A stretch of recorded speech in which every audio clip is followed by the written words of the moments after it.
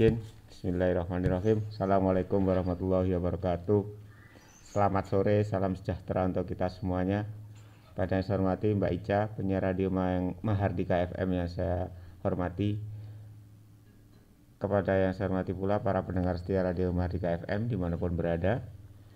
Mohon izin saya Mukhlis, juru bicara gugus tugas percepatan penanganan COVID-19 Kota Blitar menyampaikan laporan harian perkembangan COVID-19 di Kota Blitar hari ini Selasa tanggal 30 Juni tahun 2020 sampai dengan pukul 14.00 WIB yaitu sebagai berikut. 1. Jumlah kumulatif orang tan orang dalam risiko atau ODR adalah 2.722 orang atau bertambah 19 orang. 2. Jumlah kumulatif orang tanpa gejala atau OTG adalah 160 orang atau bertambah 21 orang. 3. Jumlah kumulatif OTG dalam proses pemantauan adalah 21 orang atau bertambah 21 orang. 4. Jumlah kumulatif OTG yang selesai dipantau 14 hari adalah 139 orang atau tetap. 5. Jumlah kumulatif orang dalam pemantauan atau ODP adalah 214 orang atau tetap. 6. Jumlah kumulatif ODP yang selesai dipantau 14 hari adalah 210 orang atau tetap. 7. Jumlah kumulatif ODP dalam proses pemantauan adalah 2 orang atau tetap. 8. Jumlah kumulatif ODP meninggal adalah 2 orang atau tetap. 9. Jumlah kumulatif pasien dalam pengawasan atau PDP adalah 9 orang atau tetap. 10. Jumlah kumulatif PDP selesai pengawasan atau sembuh adalah 6 orang atau tetap. 11. Jumlah kumulatif PDP dalam proses pengawasan adalah kosong atau nihil. 12. Jumlah kumulatif PDP meninggal adalah 3 orang atau tetap. 13. Jumlah kumulatif kasus konfirmasi positif COVID-19 adalah 9 orang atau bertambah satu orang. 14. Jumlah kumulatif kasus konfirmasi proses perawatan adalah tiga orang atau bertambah satu orang. Dan 15. Jumlah kumulatif kasus konfirmasi sembuh adalah enam orang atau tetap. Selanjutnya tentang perkembangan jumlah penghuni rumah karantina kesehatan di Jalan Sumba, Kota Blitar, yaitu sebagai berikut. 1. Jumlah PMI atau pekerja migran Indonesia yang masuk hari ini adalah kosong atau nihil. 2. Jumlah kumulatif PMI atau pekerja migran Indonesia adalah 13 orang. 3.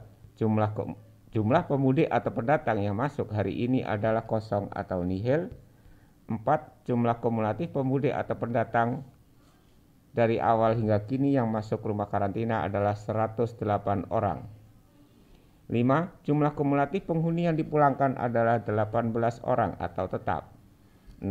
Jumlah kumulatif penghuni selesai karantina adalah 100 orang atau bertambah satu orang. Dan 7 Jumlah penghuni rumah karantina kesehatan pada hari ini adalah tiga orang, semuanya adalah laki-laki. Selanjutnya, berita atau penjelasan perkembangan kasus COVID-19 di Kota Blitar terkait dengan yang pertama adalah kasus konfirmasi positif COVID-19. Ada informasi baru berupa kasus baru kemudian ada informasi terkait kasus lama yang sekarang sedang dirawat di rumah sakit rujukan COVID-19 dan ya ada dua yang informasi lama. Kami bacakan, kami sampaikan informasi terbaru tentang kasus baru COVID-19 yaitu seorang laki-laki berumur 34 tahun, berdomisili di Kelurahan Kepanjen Lor.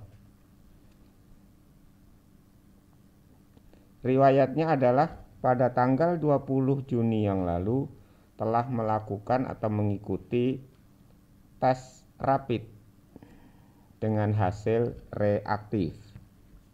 Kemudian pada tanggal 26 Juni telah dilakukan pemeriksaan spesimen swab tenggorokannya. Dan pada tanggal 29 Juni hasil pemeriksaan swab tenggorokan dengan metode PCR sudah keluar dan dinyatakan positif konfirmasi COVID-19.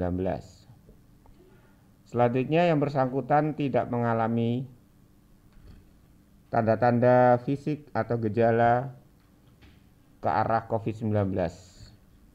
Jadi tidak ada keluhan. Dan saat ini yang bersangkutan melaksanakan isolasi di Rumah Sakit Rujukan COVID-19 Kota Blitar. Kemudian penjelasan perkembangan kasus konfirmasi positif COVID-19 tentang kasus lama ada dua. Yang pertama adalah seorang perempuan 41 tahun berdomisili di Kelurahan Bendo. Bekerja di salah satu instansi pemerintah Kabupaten Blitar. Pada tanggal 17 Juni yang lalu, dia mengikuti rapid test yang dilakukan oleh pemerintah Kabupaten Blitar dan hasilnya adalah reaktif. Kemudian dilanjutkan pemeriksaan swab tenggorokan pada tanggal 22 Juni yang lalu. Pada tanggal 29 Juni hasil pemeriksaan swab tenggorokannya dengan metode PCR telah keluar dan dinyatakan positif konfirmasi COVID-19 yang bersangkutan tidak mengalami keluhan atau gejala atau sakit mengarah ke COVID-19 namun dinyatakan positif ada virus corona di dalam tubuhnya. Dan saat ini yang bersangkutan melaksanakan isolasi di Rumah Sakit Rujukan COVID-19 Kota Blitar. Berikutnya adalah kasus konfirmasi seorang laki-laki berusia 61 tahun dari Kelurahan Kelampok saat ini masih dirawat di Rumah Sakit Rujukan COVID-19 Kota Blitar dan menunggu hasil swab follow up yang kedua. Kita tunggu saja hasilnya semoga segera dikirim ke Kota Blitar.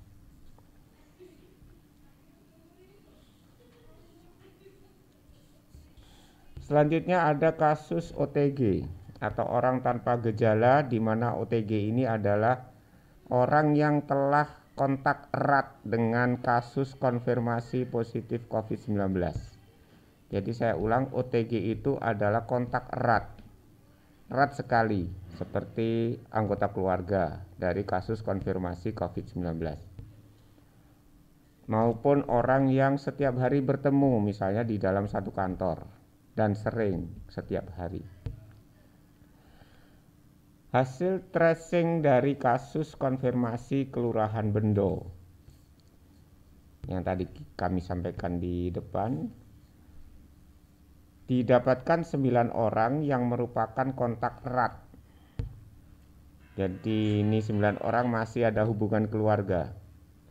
Pada tanggal 30 Juni hari ini dilakukan pengambilan swab tenggorokannya yang akan dikirim ke laboratorium pemeriksaan virus corona di Surabaya. Saat ini yang bersangkutan tidak mengalami gejala sakit yang mengarah seperti COVID-19 dan yang bersangkutan melaksanakan isolasi mandiri di rumah dengan patuh dan disiplin tinggi terhadap protokol kesehatan isolasi mandiri di rumah.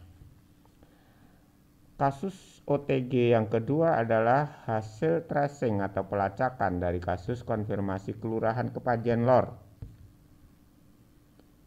Didapatkan 12 orang yang merupakan kontak erat. Ini adalah anggota keluarga kasus konfirmasi dan teman sekerja. Pada tanggal 30 Juni hari ini telah dilakukan rapid test kepada mereka yaitu 9 orang dengan hasil kepada 12 orang tersebut